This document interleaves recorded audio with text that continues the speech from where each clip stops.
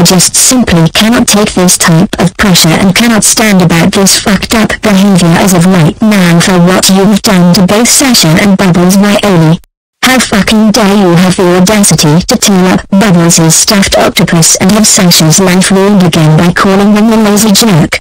That is so fucking it right now. You are grounded for the rest of your life. Go upstairs to your room right now. Bye.